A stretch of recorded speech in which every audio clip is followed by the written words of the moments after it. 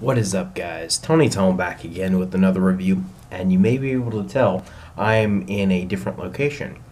So I'm actually in a hotel right now. My uh, floors are getting redone, and uh, so I had to get out of the house. So in a hotel, it's a really nice uh, Fairfield Inn in uh, Peachtree City. Uh, if you're ever in Peachtree City, I definitely recommend the Fairfield.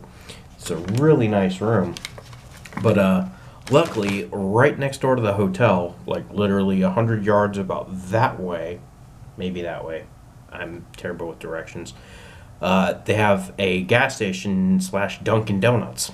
So I ended up getting the uh, Mountain Dew ice, found it there, and I went next door to the Dunkin' Donuts that's attached, and I got a coffee roll, which is essentially just a cinnamon roll. But uh, I saw this on Rob Marino's channel uh, a couple of days ago, or I watched the video a couple of days ago. I can't remember when it was uploaded, but uh, it smells incredible. but it essentially just looks like a cinnamon roll. So let's just uh, give it a bite here.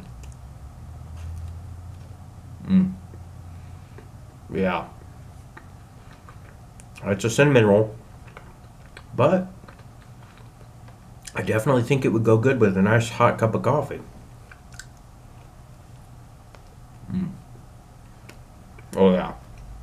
It has a nice crisp around the edges. And the center is nice and gooey. Man, this is really good. Mm. Yeah, it tastes like a gigantic jumbo hostess honey bun.